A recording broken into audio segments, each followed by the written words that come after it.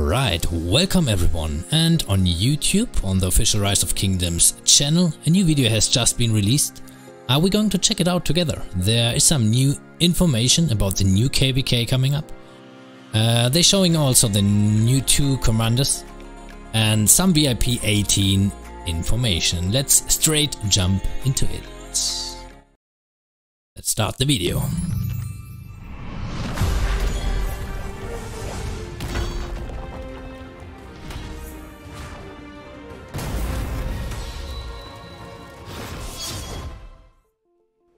First of all, nice animations. I think they spent some uh, chocolate on this one. Hi governors, welcome back to another update video. My name is Leo. And I'm Asya, and today we'll be covering some new and exciting All right. content from this update. March of the Ages. First, we are having two brand new infantry legendary commanders.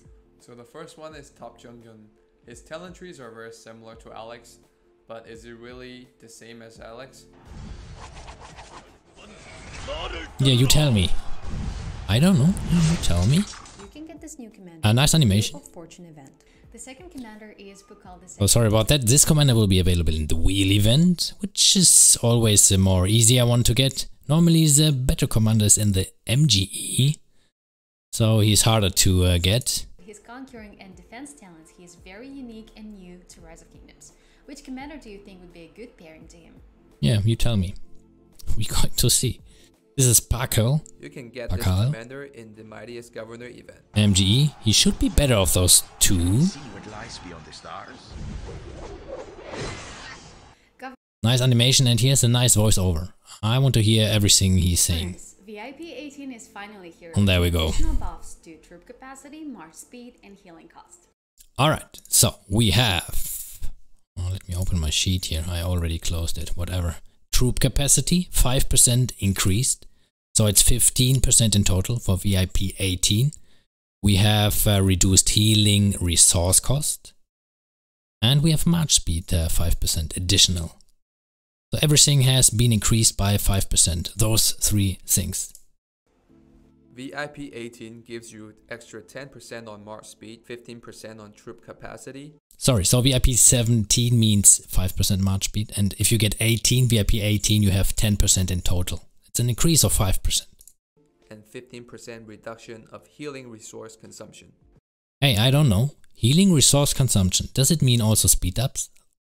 Not only resources, not 100% sure on this. Uh, if you know that, leave me a comment in the comment uh, section down below, please.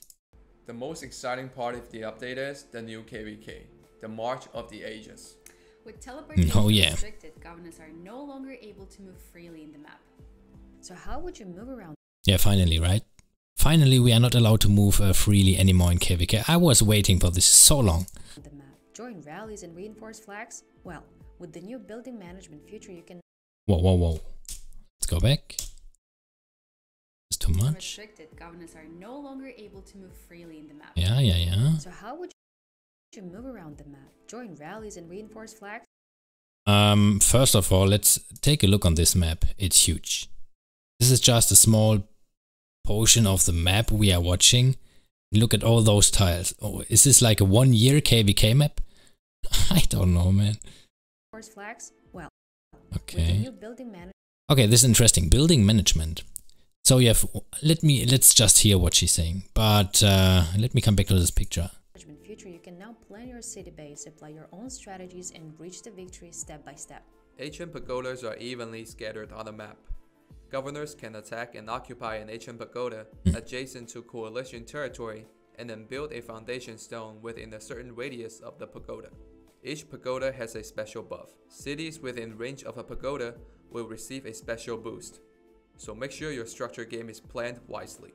Another new structure that can be built by governors is a foundation stone. Foundation stone can only be built near ancient pagoda Okay, we stopped at 230. Let me go back here to this window. I hope I find the correct position. Should be here. One more. And with the new building there we go. So building management. As far as I could hear, we can build one foundation stone only. So you can only build one at a time. Uh, while you have forward camps and you can build more also by progressing in the chronicles. Complete uh, pushing forward in the Lost Kingdom Chronicles to unlock. Okay, the forward camps are very interesting and it's going to be involving a lot of strategy stuff. Now those structures, you can put them on your territory and they're giving you a bonus if you build around them. Now also the foundation stone is like a building, a structure you have to place an order being able to teleport over there. You have to use the foundation stone.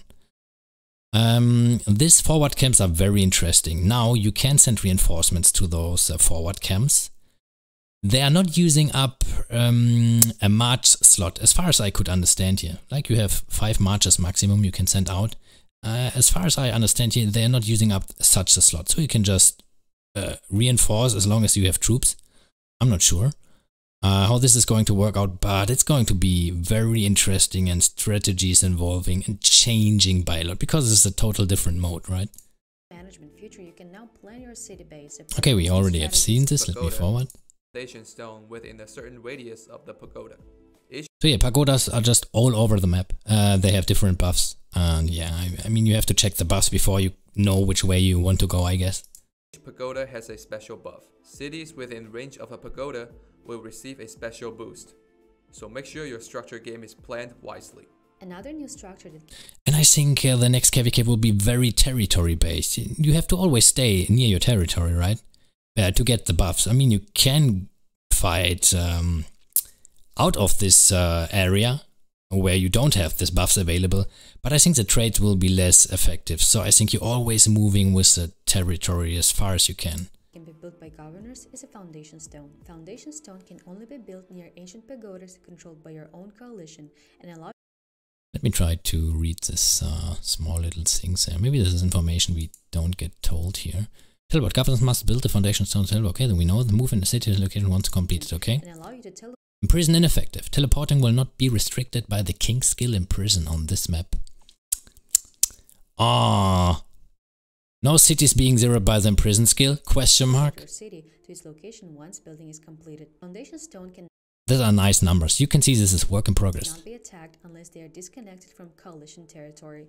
For example, you can build a foundation stone and reserve a needed spot and teleport later, but you may only use one foundation stone at a time. The next structure plays a large strategic role on the March of the Ages map. It is the forward camp, which can be built only in coalition territory. Okay, on the coalition territory. They are critically important structures for healing troops and supplying reinforcements. Fort so, Garrison troops. Governors can dispatch commanders and their troops to garrison in a forward camp for frontline, frontline battles. Camps heal slightly wounded you. Build time. Oh, this was 4 hours, something. It takes 4 hours to build and upgrade a forward camp. Okay, it looks like this is fixed. Wounded units directly and will send heavy Governors, reserves. Governors have the option to dispatching their units as a reserve without commanders. Oh, so there we go, to a forward camp to re reinforce garrison troops. Dispatching reserve does not cost marching orders. Uh, that was uh, what I'm talking about. So, if you send some, if you send your um, reinforcements, first of all, it's not using up a slot. Second, you don't have to use up your commanders. Uh, it's a new mechanic. We have to check how exactly this is going to work. I mean, if I'm right, if you have a lot of troops in the city, like you're a big whale, can you unlimited uh, reinforce those structures? I mean, this would be a huge benefit, right? Like, imagine a guy with like 14 or 15 million uh, troops in a city. Wounded units straight away. And future, forward camps can heal slightly wounded units and will send heavily wounded units straight away to the city hospital. Interesting. To the hospitals. Doesn't a normal fight already is doing this? With different mechanics and the bigger map, the March of the Ages allows governors to discover new strategies and tactics. Ancient pagodas, forward camps, radius supply, derelict passes are here to give you a whole new experience. So many stuff. Once your forward camp is built, you can send Rock 123. Okay, it's a cool name. Commanders and their troops to garrison in a forward camp. Governors can dispatch troops. Hmm, let me just try. Maybe there's information we don't get told here. There was a little scroll down there, marching orders. Marching orders can dispatch commanders and their troops to a forward camp. They accumulate over time and cannot be sped up. Okay, it's like you saving something in this structure in the forward camp. Over time, you accumulating and then you can apply a marching orders. Like you can send out troops from this uh, forward camp. Dispatch troops to garrison Marching orders, okay. forward camps at the cost of marching orders. So they looks like they have this icon uh, on the top. They accumulate over time and cannot be spent. Over time, reserve management, reserve dispatch idle reserve units. So we see one garrison, who is 230 in this case, auto reinforce. Oh, that's interesting. I think uh, it's going to automatically take troops out of your city to fill it up again. And reach level 3 forward camp to unlock. Reach level 5. So you can also upgrade them. also an option of Reserve management. without commanders is a reserve to reinforce garrison troops. Doesn't cause marching orders and cannot be attacked in transit. Placement of your foundation stone and forward camp is very important, So this zones you see there, it's the greenish one and the yellow one. as it has a supply Supply radius. Supply radius, which has a huge impact Okay, let's read. The supply radius has a big impact on the amount of damage your troops can inflict. Troop damage within the supply radius at the edge of the supply radius and outside the supply radius is 100%, 75%, and 10% respectively. Troop damage 100% within. I think 75% on the outer ring, like there's the second one, the yellowish, and then 10% out. Man, that is a huge difference. You always want to stay in there. on the amount of damage your troops can deal. The closer your troops are to the supply radius, Derelict pass, the okay? more damage they deal. One of the new elements in this KVK are derelict passes, which cannot be attacked or traversed. Eight camps, by the way. So that's it for today's That's not enough camps if you ask me for such a big map. They should like 50. video. What are Fiddy? your first impressions on the update? Let us know in the comment section below. Every update is a good update. Uh, I'm just saying. I mean, new stuff in the game. Uh, I'm all in. And make sure to subscribe for the most up-to-date Rise of Kingdoms official content. Mhm. See you next time. Guys, uh, by the way, it's official content. I know yeah, some of you guys also like to see unofficial uh, content, maybe even more, but this one is really official. Bye. Alright, thanks, you both. Uh, that's it uh, from me. I just wanted to uh, watch the video with you. Uh, what do you think about the new update, guys? Let me know in the comment section down below and see you on the next one.